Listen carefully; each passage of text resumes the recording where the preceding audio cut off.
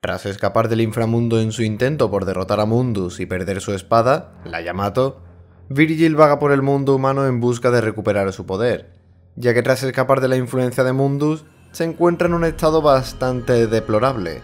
Con sus escasas fuerzas consigue localizar a Nero, quien tiempo atrás consiguió reparar la Yamato, destruida tras el combate de Virgil contra Mundus, y convertirse en su portador, y ahora Virgil quiere recuperarla, por lo que sin darle tiempo siquiera a reaccionar, agarra a Nero y lo lanza con tanta fuerza que le arranca el brazo demoníaco, donde reposa la Yamato.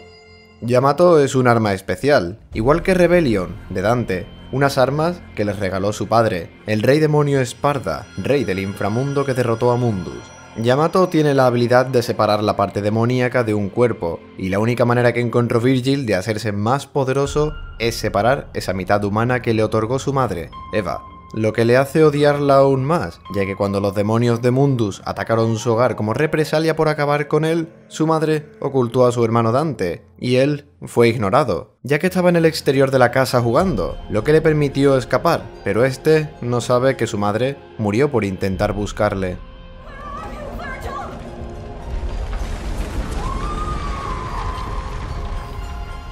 Volviendo al asunto, Virgil se atraviesa con Yamato, separando su parte humana de la demoníaca. La parte humana se transforma en un joven que se autoproclama V y renombra al nuevo demonio, lo que queda de Virgil como Yuricen. Yuricen lo que busca es más poder y poder luchar contra su hermano Dante, y pretende conseguirlo gracias al Clayfod, una raíz del inframundo que se extiende por toda la ciudad de Redgrave, absorbiendo la sangre de todos sus habitantes para dar lugar así a que surja el fruto del Clayfod, un fruto que al consumirlo otorga un gran poder. Pero lo que queda de su parte humana no podrá vivir mucho tiempo separado de Virgil, por lo que busca ayuda en el único lugar que puede conseguirla, el Devil May Cry. Morrison, un viejo amigo de Dante que trae encargos de vez en cuando al Devil May Cry, le ha encontrado un nuevo contratista, V, que portando un bastón y un libro con la misma letra V, le encarga eliminar al poderoso demonio que ha surgido, Yuricen. Pero es una lucha que según él no podrá ganar solo, por lo que partirá junto a Lady Trish.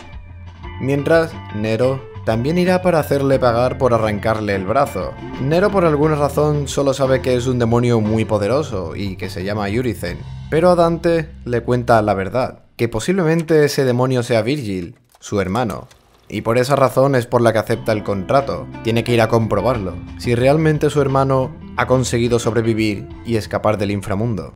Cuando repan el Clayfod, el equipo completo se enfrenta a Yuricen, pero es demasiado poderoso para ellos. Nero escapa junto a V mientras Dante le entretiene para que puedan escapar, pero en su lucha, la Rebellion es destruida y Dante lanzado fuera del Clayfod, dejando allí inconscientes a Trish y Lady. Por ahora Nero y V se retiran del árbol, viendo cómo surgen demonios y raíces que atraviesan a la población de Redgrave. Es solo un mes más tarde, después de esta invasión demoníaca y la derrota del equipo, cada uno por sus razones, deben volver al árbol Clayfod para acabar el trabajo. Nico, la nieta de Neil Goldstein, la famosa armera que fabricó las pistolas de Dante, Ebony e Ivory, fabrica para Nero un brazo mecánico con el que patear culos demoníacos. V, por su cuenta, localiza la espada demoníaca Esparda, cerca del que era el antiguo hogar de Dante y Virgil, la cual ocultaba la presencia de Dante, que durante el mes que ha transcurrido se encontraba inconsciente. Ahora con el equipo recuperado, volverán a por el segundo round contra Yuricen, sin olvidar que por el camino Nero rescató a Trish, que se encontraba dentro de un demonio, y lo mismo para Lady, rescatada por Dante.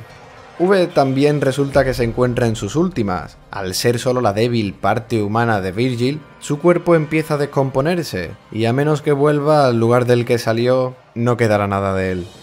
Nero será el primero en llegar frente a Yuricen, por segunda vez, pero aunque consigue herirle, sigue sin ser rival para él, y justo cuando va a lanzar su ataque final, un demonio rojo se interpone en su camino.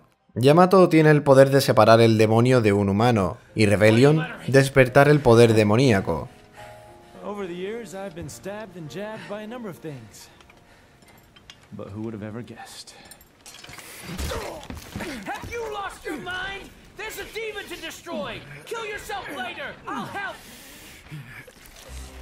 If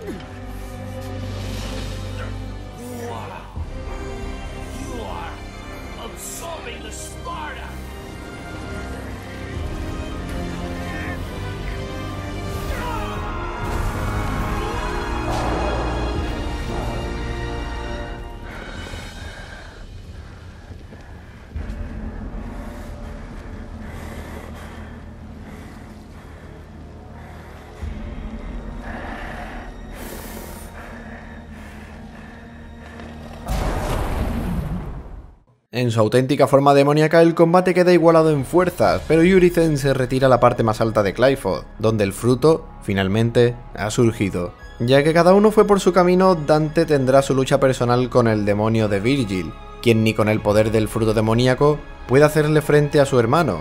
Y es cuando a punto de morir, debilitado en el suelo, llegan Nero y V, quien se pide asestar, digamos, el golpe final,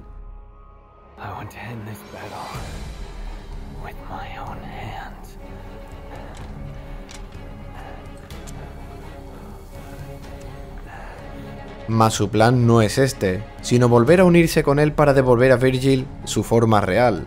Aunque V solo era un despojo de Virgil, este sigue siendo Virgil en sí, con el único objetivo de hacerse más poderoso y derrotar a su hermano.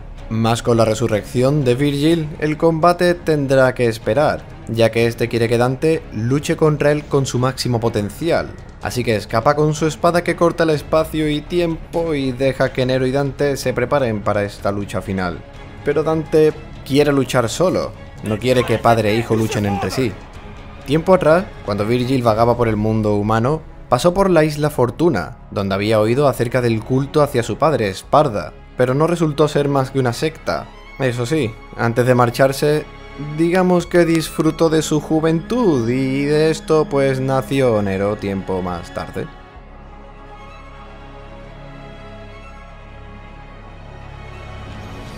Trepando hasta la cima del Glyphoth, Dante se topa con las criaturas que luchaban con V, Griffon, Shadow y Nightmare, que intentan detenerle, unas criaturas que fueron creadas de las pesadillas que sufrió Virgil cuando fue transformado en Elo Angelo por Mundus. Y más que detenerle, parece que intentan mostrarle a Dante una pequeña parte del poder contra el que se va a enfrentar.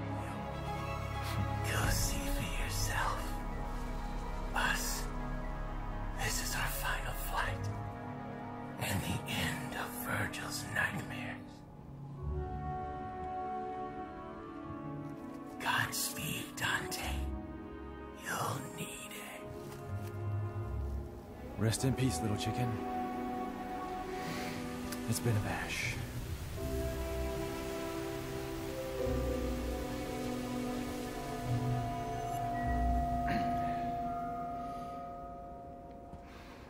How many times have we fought? Hard to say. It's the only memory I have of us since we were kids.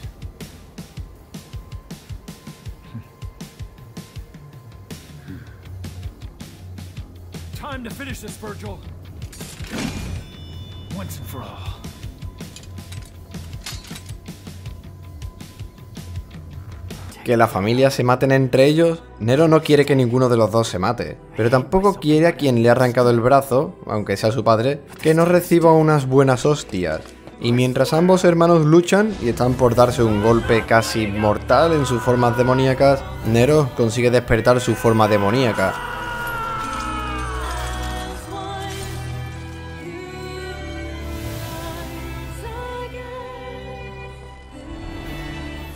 Y detiene el combate. Deja a Dante aparte y él solito detiene a Virgil. Cuando Virgil es derrotado, este se tranquiliza un poco y decide, digamos, formar parte del equipo. Viaja junto a Dante hasta el inframundo para cortar de raíz el Clyphos y así impedir la invasión demoníaca en el mundo humano.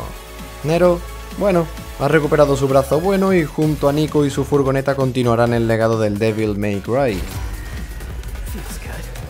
Lady y Trish seguirán trabajando en el original con la ayuda de Morrison. Y Dante y Virgil, bueno, quedarán atrapados en el inframundo, donde podrán zanjar sus disputas sin interrupciones. Ah, dije, ¿sin interrupciones?